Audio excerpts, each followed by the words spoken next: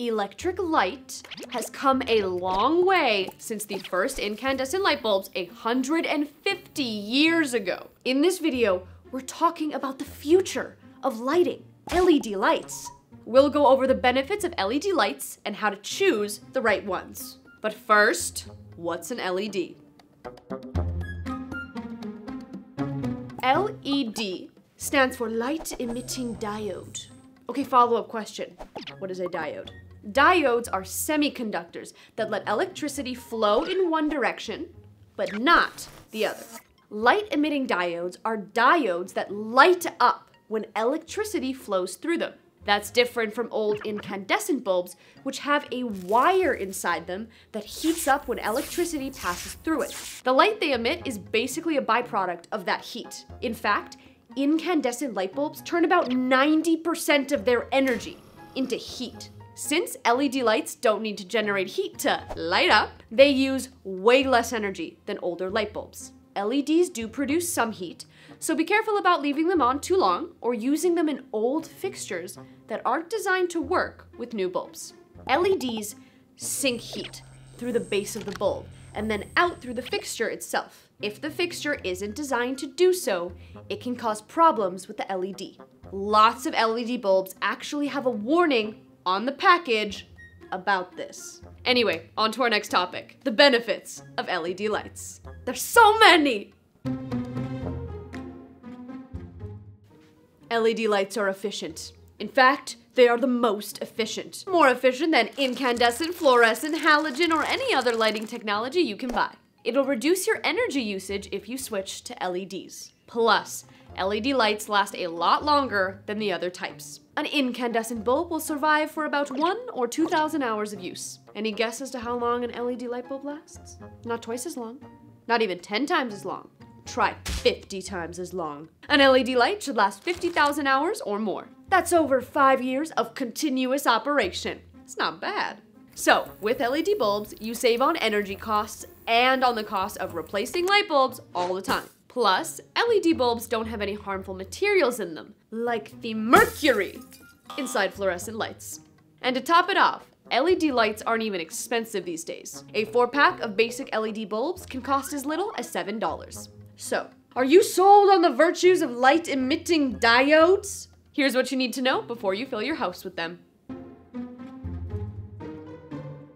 Replacing your existing lights with LEDs is usually simple. If you're replacing incandescent light bulbs, you don't need to do anything special at all. If your light uses a 60 watt incandescent bulb, replace it with a 60 watt equivalent LED bulb. It's equivalent because an LED bulb doesn't actually need 60 watts to match the output of a 60 watt incandescent bulb. It needs more like 8 or 9 watts. LED bulbs have their equivalency marked on their packaging. Now, if your home has any fluorescent tube lights, it might be a little harder to swap those out for LEDs. You can buy LED tubes that replace fluorescent tubes. Just make sure you buy the right size. Tube sizes are known as T8, T10, T12, and so on.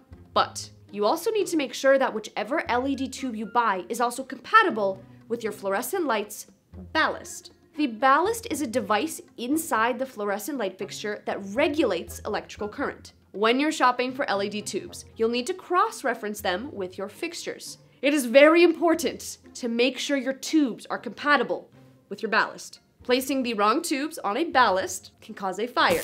If you use the wrong tube accidentally, any fire would most likely be covered by your home insurance, which of course is small comfort if your house burns down.